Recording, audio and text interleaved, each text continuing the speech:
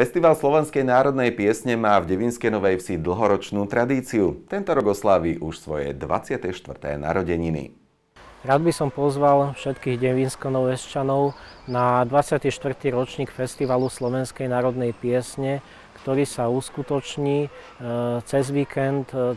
E, a 4. júna 2017 v Devinskej Novej Vsi. E, začneme v sobotu 3. júna o 18. hodine pietnou spomienkou na nášho spisovateľa rodáka z Devinskej Novej Vsi Ruda Slobodu pri jeho pamätníku na Slovinci, e, kde sa stretneme aj so žiakmi našich základných škôl. A e, na ďalší deň, na naše Devinsko-Noveské hody by som rád všetkých pozval samozrejme do nášho kostola Ducha Svetého, ktorý teda oslavuje svoje výročie. Eh, následne o 10. hodine organizujeme v priestoroch eh, knižnice, teda letnej čitárne, stretnutie veteránov historických vozidiel, ktoré spoluorganizujeme s akademickým maliarom Marianom Komačkom, teda to je o tej 10. hodine do obeda.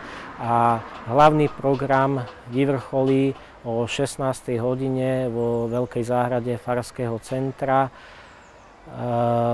prehliadkou súborov a solistov, teda v hlavnom programe Festivale Slovenskej národnej piesne. Či to bude o 16. hodine vo Veľkej záhrade Farského centra. Ak by sme mali zlé počasie, tak e, budeme e, v kultúrnom dome Vystra centre.